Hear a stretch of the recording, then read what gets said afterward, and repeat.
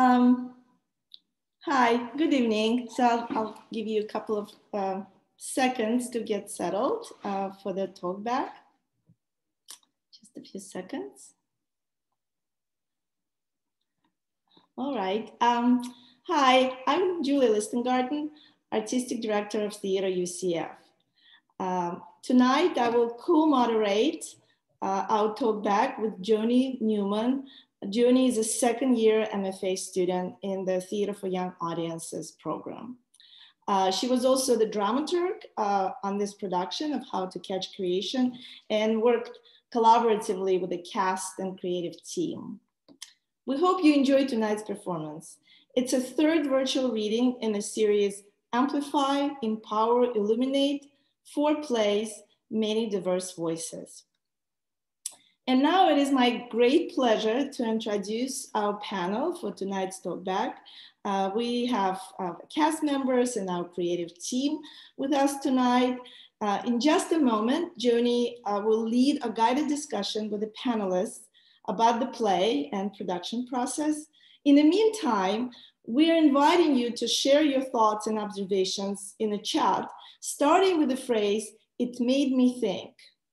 The panelists will be able to see your observations and uh, may integrate them in, in their responses. Following the guided conversation with the panelists, we'll, we will open the discussion for questions from you. Uh, if you'd like to submit a question, click on the Q&A and type your question. Please remember that questions to the panelists should be submitted in the Q&A section. You can see the questions posted by others and you have an option to upvote the question if you would like to hear the answer. Please remember to keep all questions and comments respectful and on topic. This talkback has been recorded and the link will be posted on the Theater UCF web page uh, very shortly. Thank you. Joni, now it's, it's your turn. All right. Uh, we're still waiting on our director. So there are a couple questions that I wanted him to be here for. So we might jump to the bottom of the list of questions I sent you all. Is that okay? so let's start with the question. And this can be for anyone on the panel. Oh, hi, Yo. We'll start with anyone on the panel who wants to contribute. And if you just want to like wave or just start speaking, we'll we'll go with this together as we work with Zoom. But how has working on this play now impacted your artistry? As individuals. Janice. Okay, hi. Um, for me personally, this was the first time that I was able to, from a technical standpoint, analyze my character. So whereas before I would have just jumped right into the character without kind of doing any background research, this was the first show that I thought needed to take that I needed to take the time to really develop and analyze. And I'm glad I did because I got to learn a lot about Riley and where she was coming from. So that was a big step for me in my artistry. Good. Yeah, Mac. I definitely like to piggyback on that in a sense of actually mine's a little bit opposite because I've always been known for being very technical, but this was a chance for me to actually just live in it because I found myself really similar to Stokes in the sense of I know that there was a period for me that I just felt very just off. Like I was like I feel like my artistry was like dry, and I was looking for anything to find a sense of like that spark, that need to create, but it was happening until one day there was. And definitely doing this show helped me with that. That was my personal spark.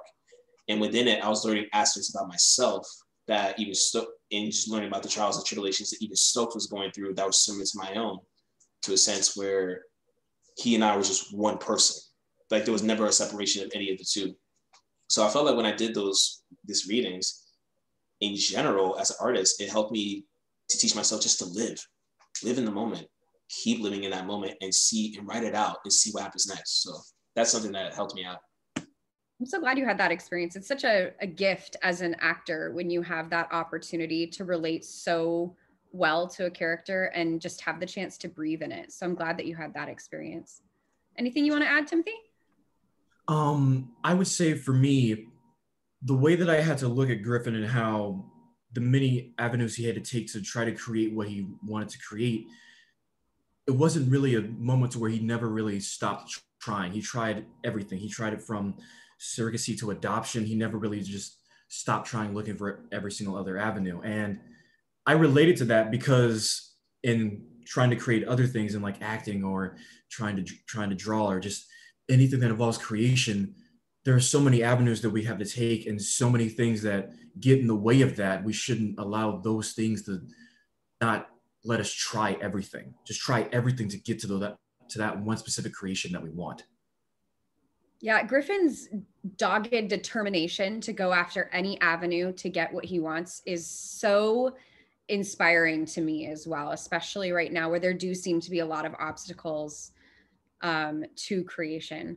Um, Tom and Morgan, as technicians on the play, anything you want to add at all? I'm kind of throwing you on the spot here, but I'd love to hear from you.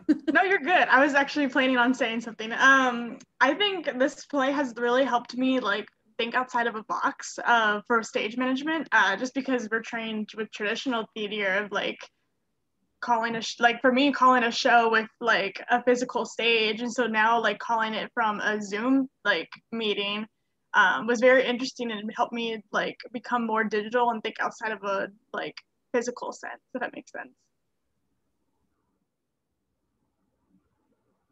And to piggyback off of her, I feel like it also made me very much think outside of the box of even trying to figure out how to communicate with people um, because we're just in this tiny little space, but we need to communicate with everyone, make sure everyone gets everything they need to know, and all that kind of jazz. So it was very much like, how does one work in a digital space and yet still be a live kind of environment and feeling? That makes any sense. Yeah, that makes a lot of sense to me. Yo, as director, how did that impact you? Well, you know, in the way of artistry, I, I really think, you know, us folks in the theater, we, um, we, we like to construct problems to solve or try to solve. and, um, and I think we've really constructed a really unique problem um, with uh, trying to do this, uh, attempting to, to take uh, this thing that's made for the stage, do it as a reading, virtually on Zoom with these other aspects, you know? And I think I think that that is kind of the heart of what artist does is that we take the, the we take the raw materials that we've been given and we try to construct something meaningful that will move our hearts, you know? And um, and it's not only about the construction, it's also about the process of construction. How how do we go about creating spaces um, that are maybe less hierarchical, um, spaces where we can share the, the weight. And I think that's what I'm learning more as a director is, is how, how do we let go of control? How do we surrender to a process? Um, there's so many things we can fight for. And I think this applies to life as well as the, as the stage that I'm learning to, as an artist, to, to, to let go, trust my, my actors more, trust trust the the kind of structures around theater. And i think it's in this surrender that we find something quite rich um, again both in life and on the stage. And so that that would be the point that that's where i feel that i am as an artist now and how this how this process has challenged me yeah i've i've, I've heard from from each of you and from other actors in this process that that it really does challenge us to kind of strip away what why we do what we do a little bit and really hone in on what matters most to us as artists. So, so thank you all for sharing. And I think that's a great segue into this next question that I have for you. Um, Yo, you're really familiar with this one because we talked about it for a, a, long time before this show even started, which is dissecting the title um, of this play, How to Catch Creation. And we talked specifically about the words catch and create. Um, throughout this play, there are many, many different forms of creation that the different characters undergo. They try um, to create humans, they try to create written words, visual arts, music, relationships with each other, with themselves, with the future, with the past. Um, so there are lots of struggles that people face with creation. Yo, talk a little bit about how that title inspired you um, and the element of creation as we drove into this process? Well, you know, Joni and I, you and I, we talked about like kind of had a little bit of a, a nerd out moment around etymology and like the meanings of names. And so, so yes, this became a kind of a core core aspect um, in kind of you know parsing out what is this play about. And I, you know, I mean, you, I mean, there are other, I mean, there are other words too, right? There's there's how to, and so there's a question first: is is the playwright trying to teach us something? Is this a, an instruction manual that she'll give us answers, or are we left with more questions? And I, and again, I, I, I, this is in my spirit a lot, James Baldwin, that the the purpose of art is is to is to uncover the the the questions hidden by the answers. And so I think this how-to is important as well. Catch, we talked about, you know, we talked about uh, what does it mean to to catch or be caught, to be incarcerated.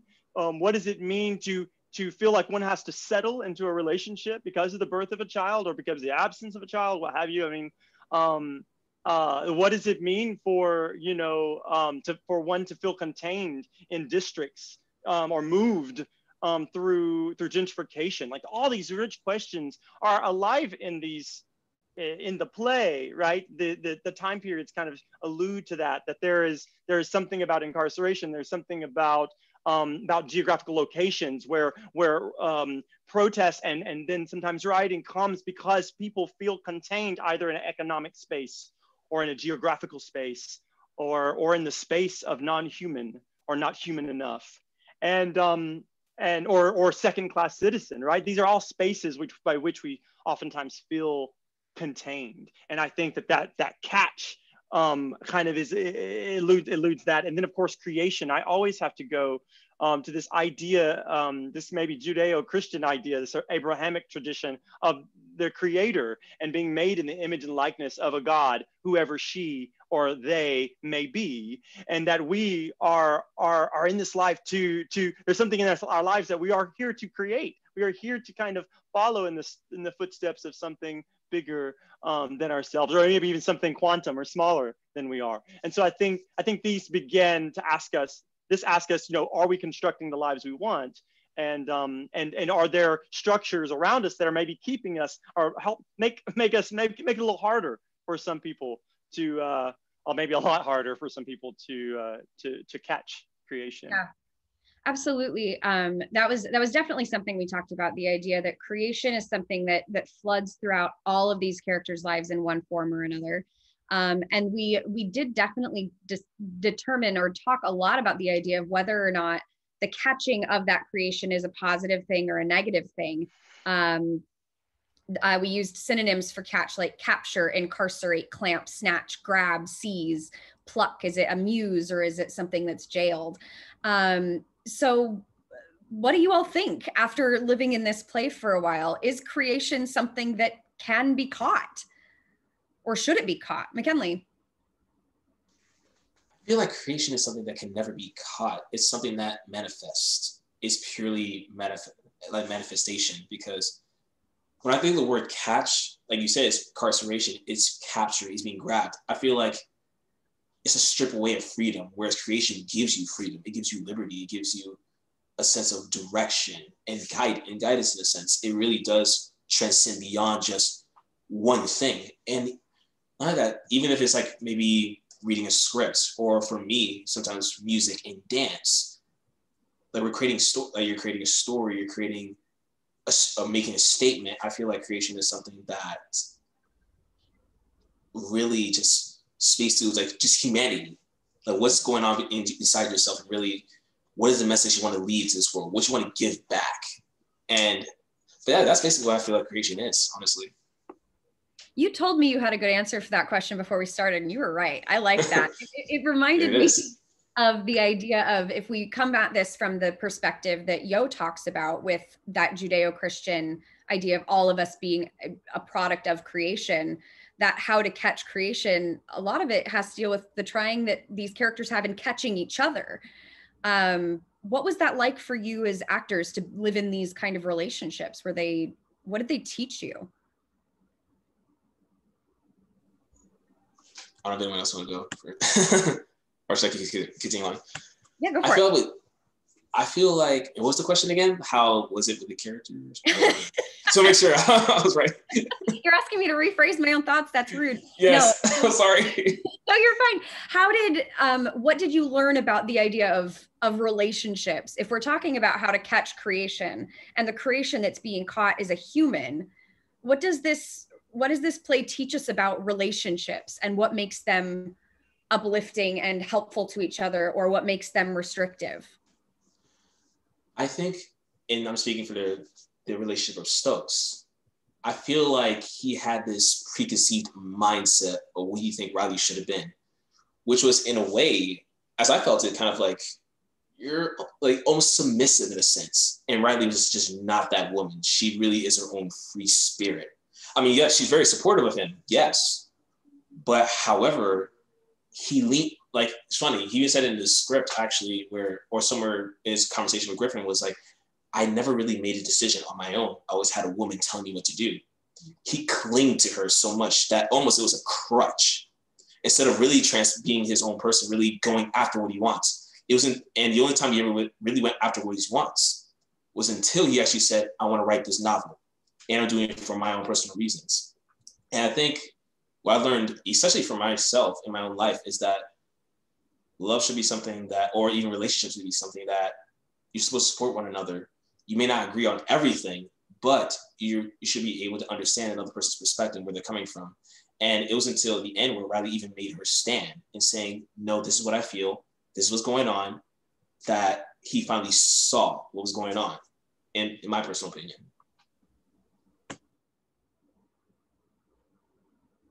Yeah, Jenny, go ahead.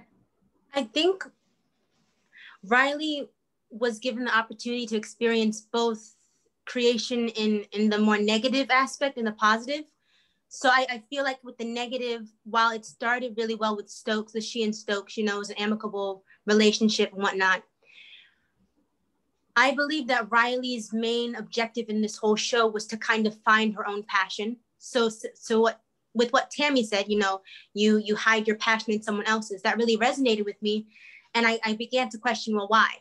You know, and I think that the pressures to be a you know a woman supportive for your man, with your man, by your man, can be exhausting at times. And when you feel like you're putting your passion and your desires on the back burner to support him, that can be exhausting and can be tasking. So I think that when Riley met Tammy and got to know Tammy, that was her that was her opportunity to to come back into herself and to be a little selfish, you know, to put herself first to to to blossom her to have her passion blossom. And so I think that with both with both with Riley's character and her relationship with both Tammy and Stokes, we were able to see how creation can be freeing and also detrimental to the character if that makes sense. Yeah, absolutely. Because at first glance, you could look at this set of characters and think, oh, Riley's the one that doesn't create anything. Mm-hmm. I mean, other than like a baby, but like she's she's but, but that was kind of that wasn't an active choice that she made. It happened. Right. And so, but I but that's not true about Riley. She's also a creator. Mm-hmm. Exactly. Exactly. All right. I want to Timothy, do you have anything you want to add before we move on to our last part of this? Um, You don't have to. I would like to answer, but is it possible if I can still think on it till the very end? Absolutely. We'll come back to you. All right. So before we move on to kind of the next section of this talk back, um, one last question that I want to ask before we switch over to Julia is what do you th- think the message of this play is um, or suggests for Black or queer artists, especially now? What do you hope that the message is about being Black and queer in America? I think it's that it's the fact that we are all complex individuals. That you're not going to meet any black artists or black queer artists that's just one dimensional. It's impossible. We're always three dimensional at all costs, at all times. And I think it's also through this, I can't help but feel this sense of liberation. Like, yes, I am this three dimensional person. I want to be this person because it's not a, a curse, it's an actual gift. I see it as a gift from God personally. And so I feel like that's really the message is it's like living your truth, always living your truth at all times. Because the moment you start living for someone else or not manifesting to your true self, that's where the problems begin. And that's where like artistry begins to die. Because if you can't live in your truth, because the, the arts force you to be truthful about who you are who you are as a person. And if you can't do that, then that you, you can't create. You have you're gonna always have this mental block that's a part of you forever. So I think that's what the play, or for me, that's what the play taught me in a sense. Yeah. And that's a very real part of Stokes's journey is the idea that until he feels comfortable pursuing what he is passionate about, he's stuck. We see that with Tammy as well, right? Absolutely. And especially like finally you saw, and you, I feel like this whole three dimensional side of Stokes was a sense of like, I thought I was only going to be this painter and that was it. And you said himself, like I was trying to find something within my father, see myself through him, like it's just identity, but I didn't get that. Something was lost. And it was until he started writing the book and going through the same journey that GK even went through, the sense of, oh, this is actually my true passion. This is what I want to do. And now I'm really finding aspects of myself that makes me who I truly am. So I think that's something that's beautiful about this play. Yeah, I agree. I learned a lot from that too. Any other comments? Yo. Was that Yo first or Janice first? Oh, whichever. Go, Janice. You want to go? I was gonna, I agree completely with McKinley, what he had to say. And I think, in addition to that, I think this is a story reminding Black queer artists to not let fear stop you in this world where you are told no, where you are scared and you are, you mean you turn on the news and there's just all kinds of craziness going on. It can be very crippling. So I think with a with a show like this, we can learn and be, make it become a habit to to not let fear stop us and to create freely.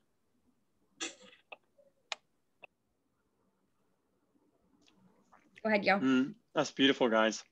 Um, you know, I I'm I'm just about to get married next year. Uh, next, sorry, next month. um, and there is a big question about you know having children, and um, I'm like I'm what I'm 30 35. I'm going to try to go into a PhD. I'll come out at 40. I know I know Julia had her had a child while she was in her PhD doing her dissertation. Um, but there's something about the like that the like queer, uh, many not queer bodies, but maybe like you know like homosexual bodies that um that it's like there's it feels like there's this kind of a sterility right like this like how do i have a kid how and there are options and there is an intentionality in having that child for us that it may be a little different than and I think that's some of Griffin's frustration, even though he's he's he's a straight guy in the play. I mean, at least we we, we think he is, right?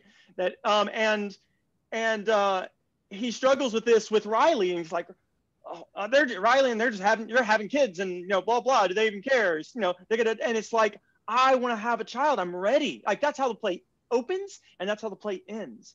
And so, I think there's something about like what are we trying to create? And I think at the end of the day, we're trying to create, I think the play is telling us we're trying to create relationships, that that is the fundamental principle of the universe, that there is that thing over there and that thing over there, and there, there is a relationship between them. And what the tension is, the, t- the tension dynamic or how that's broken or, or how it's made again, remade again is, is what makes the world go round, you know?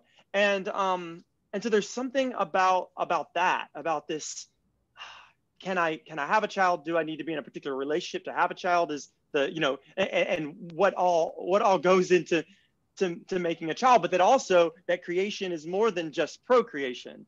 That there is there is there is I can create this play and it, and I can I can have this relationship, this friendship, and it be really close, or I got this lover, or I mean, what like, and I can have this life that I create, this relationship with myself and my art and what I'm making. So I, I think there's something quite rich about that. Um, again, not necessarily giving a full answer, but like more questions, you know. So, oh, for um, sure. I'll leave that. I'll leave that there. No, and I don't think the play seeks to answer all questions. I think it seeks to raise them. Timothy. What I learned from this play is that let creation give you happiness, no matter who tries to stop that, no matter who you are as a person. Create to create to be happy. And I and and the one thing that hit me on that was when Tammy, when when she started talking about that I have been painting, and then when I was and then when I was with Riley, I started to paint again. That that twisted in my mind of where it's like basically where we create something, but we feel like it may not be worthy. We feel like it may not even, you know, have a chance at anything. But your creation should just give you happiness because you created that, you made that, you did this, and just from just from reading this play and learning that, it just kept me wanting to. It just kept me wanting to keep doing what I wanted to do, like as an artist, as just a person, just wanting me just to feel happiness, just keep being happy no matter the circumstances. Thank you for that. I feel like I needed to hear that tonight. So me, me too. that was that was good. Um, I I absolutely love that the the dynamic of this group. It's been such a joy to work with all of you. I've learned so much. Um, Julia, why don't you take us into the next section of our talk back? Well, thank you so much. That was incredible. Your your insight was really amazing um, to hear about your process and and and um, how you approached your characters and how the process impacted um, your ideas about so many things, right? You know, there's it's such a rich play. It's about identity. It's about creative process. It's about human relationship, really. Um, so thank you so much for for your thoughts. We have a few questions from the audience. Um, so Jim Brown asked a question uh, to the cast uh, who were your inspirations that helped you connect to your character? Uh, a friend, a family member, a person in current events, or a historical figure. So it's to the cast, but it can be really to, you know, Johan, if you'd like to uh, answer that question as well. Um, so who would like to, who, who would like to address that? Who would like to start?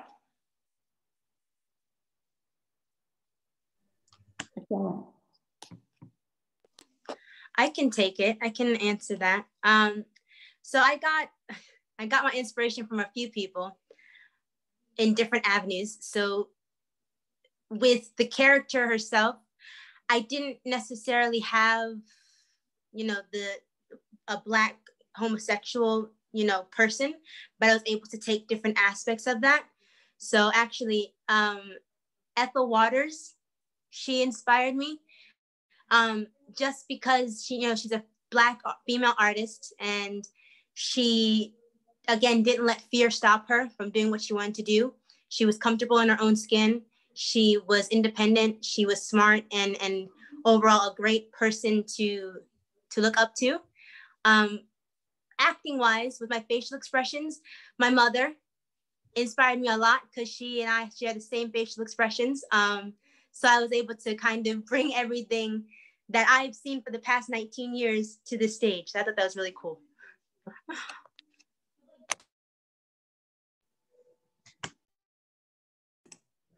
Um, I would say for me with Griffin, the the people that inspired me were my parents, just because of how when Griffin is trying to create or trying to get a child, that brought me back to my parents, and basically with them, um, they when they were trying to have me at first they like doctors kept telling them like you won't be able to have a child.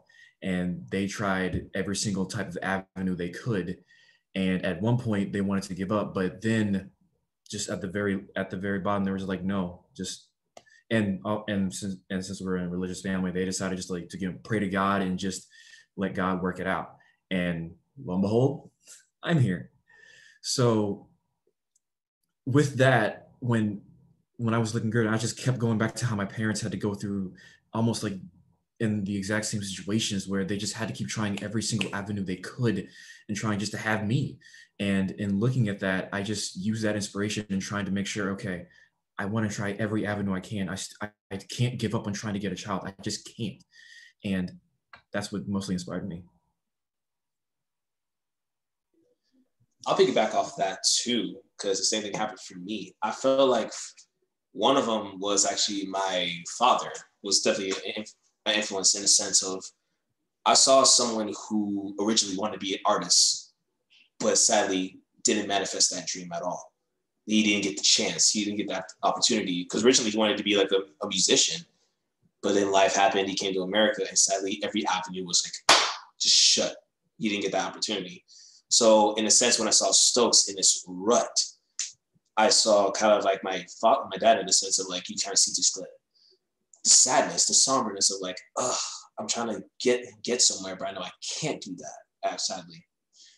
And I also looked at, I think another inspiration was I saw was my own castmates, just all of us as Black artists, as a conglomerate. That I bet we all have stories of, of a time where someone's told us no. Essentially, they told us no in an art form that we love so much and we took we done whatever it took to be where we are as we stand. I know more personally for me, I've been working working hard just to try to get to be musical theater major for almost six years. This is my sixth and final year. Finally, just trying to get this degree. And there were so many no's until I got that one yes, just to do what I love and just try to get here. So I felt like that was like a motivation that kicked in, especially when I see Stokes in the sense of he's an artist who really wants to not only have that spark, but also be successful at what he does. And piggyback off of Timothy when he says like he just wants to be happy with his work. He doesn't want to feel so saddened or feel like have this block anymore. He wants to see his work flourish and just grow as a human being will want to. So I feel like that's my inspiration for that. Okay, thank you so much.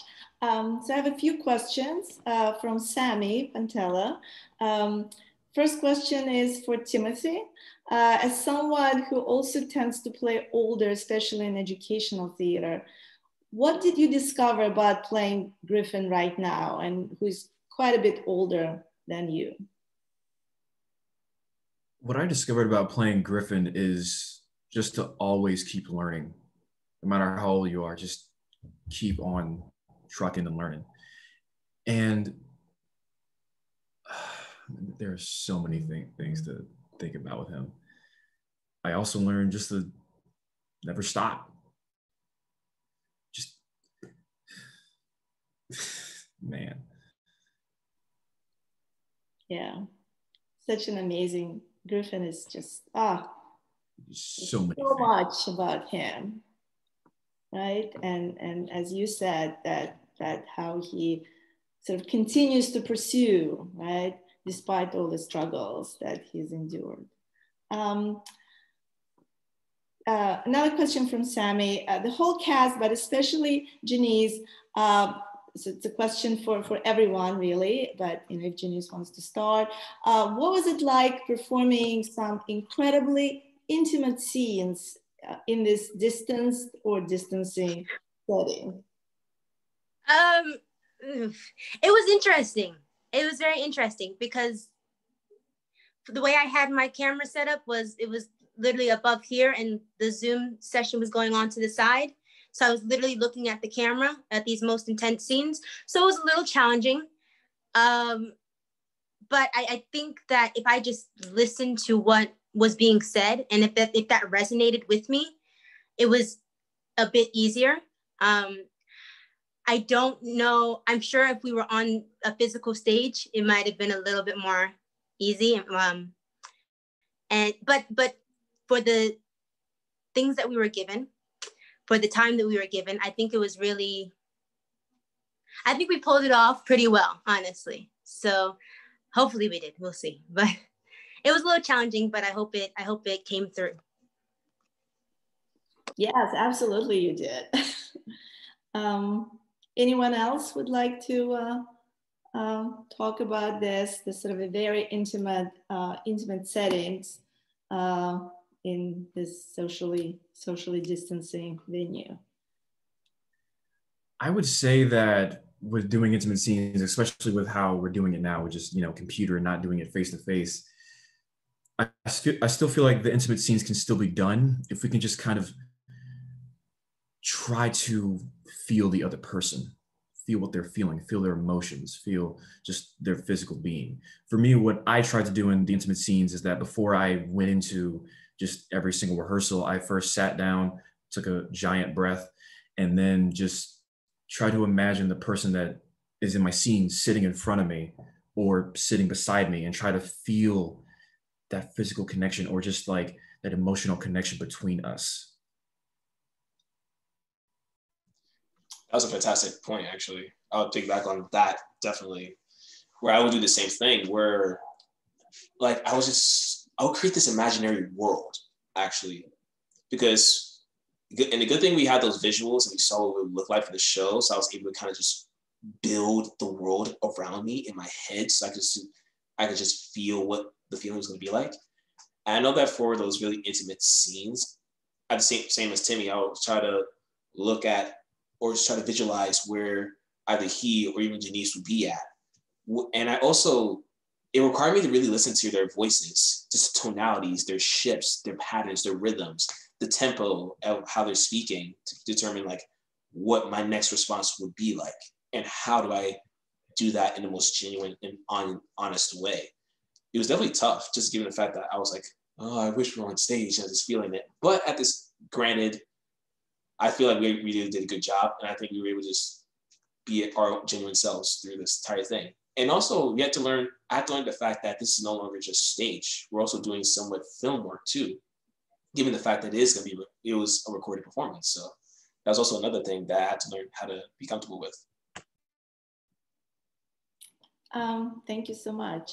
And then the last question we have, um, well, actually two questions. The last two questions. Um, this, um, this question is for Johan, um, also from Sammy Pantello. How long were you able to sit with this play before moving into production? And what were some of the unique challenges that presented themselves when directing this play on Zoom? And whether, Johan, whether you have any advice to directors working in this new medium? Woo! I know um, a lot, a lot of questions packed, packed in one question. No, it's it's good. Jamie um, wants you um, to solve all the world's problems right now, but you can do it. I believe in you. oh my. Um, how long? Let's see. I, Julia, how how long? Time has just flown. Um, we we started well, talking. I, I called you in June, maybe June or July. We started chatting about that. Yeah, it feels like much longer than that, but that's that's true. It's June or July, and and fairly quickly we moved into pre-production, um, which I would say, um, I mean, generally on on a stage reading or even on you know or a stage production, right? You're uh, one of the big um, task of the director is is working with their actors to kind of discover the topography or the uh, the blocking of the um, uh, of traffic on stage. And so, but in this medium, we I worked instead of with the actors with that, I worked with uh, our visual, our visual designer and um, Tim uh, Brown, right? Am I, I right? Tim Brown. Um, uh, you think after I've seen his name on the Zoom on the Zoom title at the bottom, I I know it back and forward. Um, we spent hours together um, on Zoom working out okay where does this person come in and this person goes up and and this goes out and and there's there's a whole construction there of of um, designing the um, the blocking before the actors are even in the space. So I say that's a big thing. That's quite quite different um, in this in this setting um, compared to to a stage production. Um, I, I just a, a, bit for me as a director, I'm, I'm very, um, I'm very interested. In fact, in my, and I'm interested in the inter, the inner life and soul growth of all involved. My, myself and actors, the designers, um, everyone involved. I'm really interested in like how do we grow our souls. And so at the beginning of each of each of each meditation, knowing that we're kind of in this these boxes and we're feeling isolated in this time of, of pandemic. Um, it's important that we that we center ourselves. And so I, I we have a meditation practice that we begin at the beginning of each that we start at the beginning of each um, uh, rehearsal or sometimes you know when we got to the the you know, read through where we center ourselves and one of the comments or one of the things I, I try to emphasize is as i ask the actors can we lean lean back lean back into all of our ancestors. Bring them into the space with us. They are here. They are waiting. They are ready to support us in this work. And so in terms of this how to catch creation, I'm really interested in, in us discovering that creation is already inside. And I think in, in this time where we're feeling so isolated in our productions and in our, our meetings and the Zoom meetings all day long and, and, and, and not feeling together, there's something that this, this moment is teaching us. And that is, it's all inside, it's here. And that even when I'm working with an actor face to face or actress face to face on stage, that they're that I'm actually reflecting my own soul, my own psyche back to me. And I can do that here because it's all in here already. I don't know if that that makes sense, but for so for me as as as the director, I'm trying to facilitate a space where people feel held, even though we're miles apart. How can we, you know, how can we remain hold a space even though we're so scattered? And that was the big challenge, I think, as well um, is holding that space. And for me, it's centered with this internal awareness. Thank you, Johan. And then the last question uh, uh, to the cast, really. Um, what moment in a performance or the story your character was telling was the most impactful to you personally? McKinley? It's, I find it very ironic because the script answered the question for me. And it was the answer that Tammy gave to Riley when I talk about the portrait. And she said two words that brings me to this to this day: let go. Just let go. And at first, when I heard that, I was kind of like, what do you mean by letting go? Like, what is letting go? I can't let go. But looking back, because I've always been this almost I look calm, cool, collected, but I know I could be this highly tense, stressed up person because I always felt like I had to be the person that was on the go and trying to rush to the next thing, and then the next thing, and the next thing, to almost to a point where it's almost it was a trained thought just to have this sense of like rush, but never really taking a step back to be like, whoa, buddy, relax, calm down you're doing too much. You're thinking too much. You're not letting your mind process what's going on. Allow yourself to actually just just to calm down. And I feel like now I'm finally in a state where actually, especially after during this production, I never felt like I was rushing on anything. I actually felt like I was actually enjoying every second of the process because it really was like not heightened stakes. Because I've been in shows where I felt like the stakes were just completely high and the tone has been set to a point where it becomes very unenjoyable when your stakes are high because you know you don't feel safe in it. Whereas there's this immediate welcome of, you know, there's a safe space. Enjoy the process. You're doing. You're already doing the work because you're loving loving it anyway. Love your craft. You just be free within it. And I feel like that was a a thing that I've learned really personally. And I translated it now to my schoolwork because now I don't feel like I'm rushing anymore in my schoolwork. I feel like I'm enjoying each moment. You know, I'm allowing myself to allow myself to live, just live in that moment and just enjoy each process. Because the moment you start rushing, you leave it behind. You might miss out on the most important, beautiful moments. So I feel like that's something I learned really well. Uh, anyone else would like to answer that, Johan? There was one moment in the play that I would say uh, got me, I think, every time, and that was um, that is when Tammy is talking to Griffin about her experience of taking care of him when he was incarcerated. And she said, I was trapped. And um, I think I think in this I think there's something that this play teaches also is about like self-care and what does that mean? And uh, even when the stakes are high for other people, like how do we if I don't if I don't have it here, I, I don't have it for for my for my team. I, if I don't have it here, if I haven't taken time to do that, you know, I don't have it for my cast and my friends and my family. Um, and so I, I think that that's a really powerful moment for me. Um, it's that Tammy moment. I was trapped. you were in prison and I was trapped. Whew. Okay.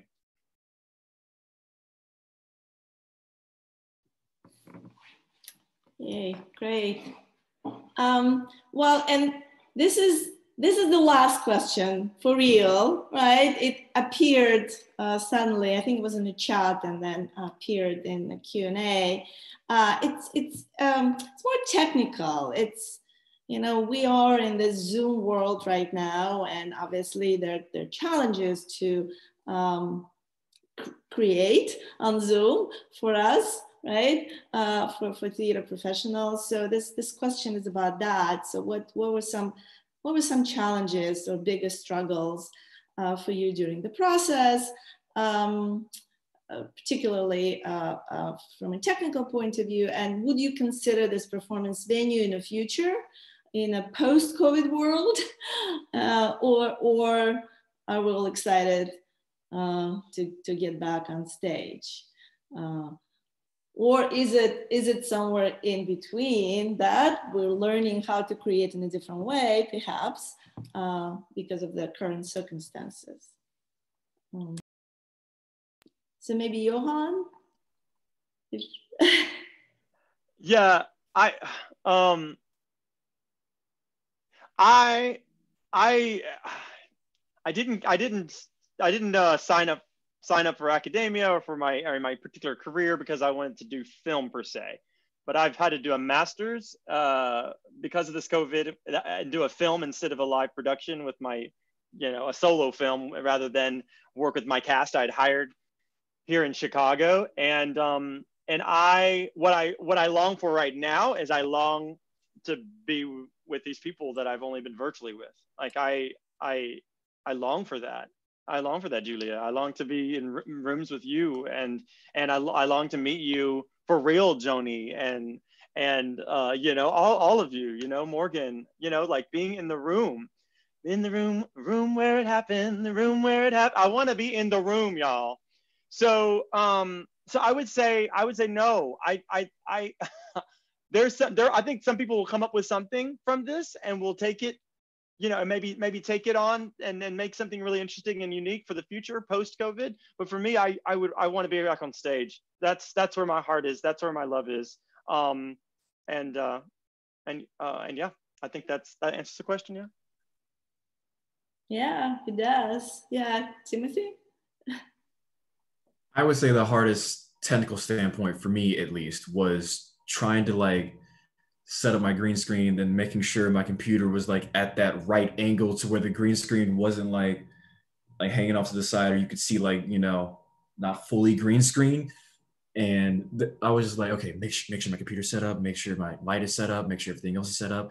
Um, and I would say my feet are literally dying to touch a stage. They are dying to touch a stage. I there was one time where I like went to the went uh, to the theater building to go grab my technical support and literally I looked over to the black box and the first thing that popped my head is, you know, you can go on there and go touch a stage, right? I'm like, I know, I know, I want to do that so bad.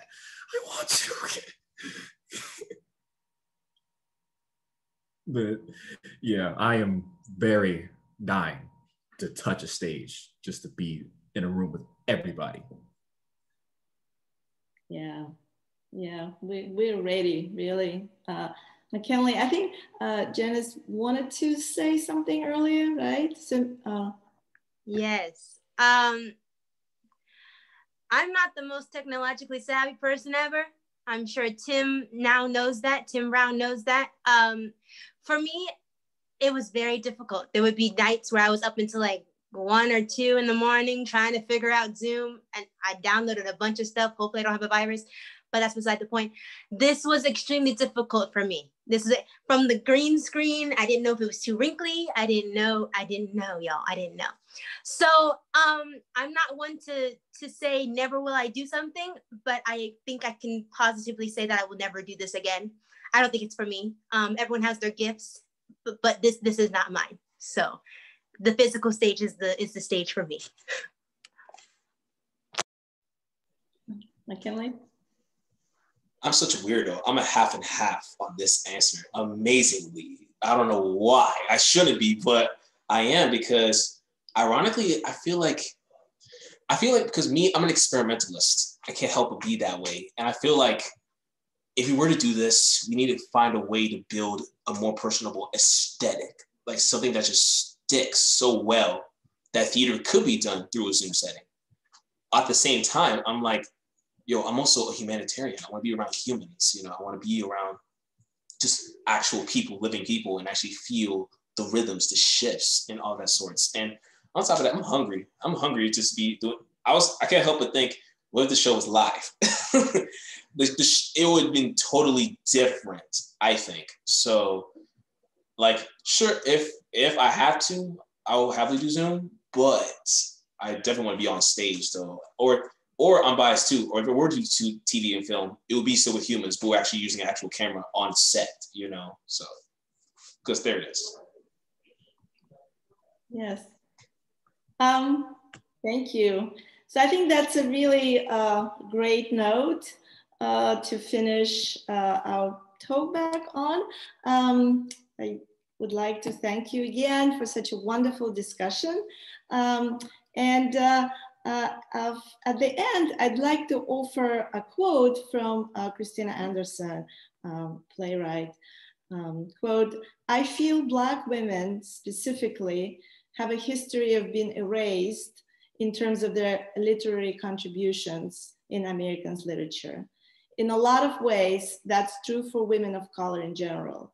So I think the most important part is to keep these, these women's voices alive and active and circulating, um, unquote. So I actually think, I feel that these voices became alive and active and circulating in this production. And thank you so much for, for that. Um, uh, and uh, yeah, uh, again, such a, such a wonderful show, um, wonderful talkback. Uh, thank you, Joni, as well for uh, great questions. Um, so please uh, come to our next show, uh, Kill Move Paradise by James Ijames, directed by B. Boyd. It will premiere next Saturday, October 24th at 7 p.m. and we'll have a talkback with the creative team after the show. So I hope to see you there. Thank you and have a good night.